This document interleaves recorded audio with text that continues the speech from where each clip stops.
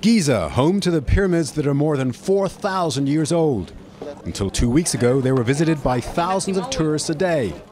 But now, Giza is empty, and horse guys like Farak Abu Ghanem, who has 25 employees and 35 horses, are in trouble. From where we feed our family, and from where we feed these horses.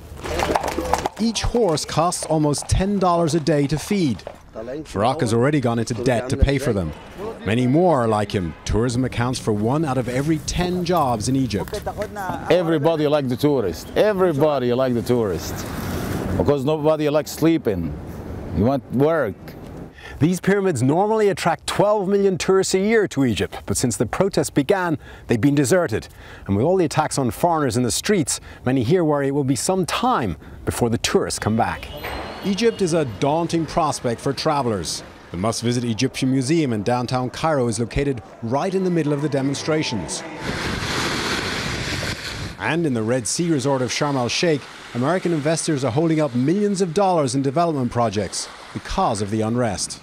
Five years. It's going to take us five years to catch up to where we are today. In central Cairo, shop owners like Abdul Al Sunni say their business is down 70%. He says he's not earning enough to feed his family. No business. Across the street, business in this leather store is even worse. When was the last time you sold a jacket? This is about two weeks ago.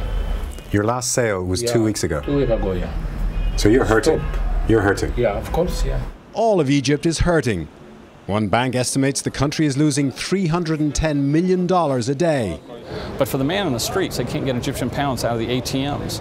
We've been out of work for two weeks. Many businessmen may not be happy with Mubarak, but they're getting impatient with the protesters who are killing their bottom lines. Terry McCarthy, CBS News, Cairo.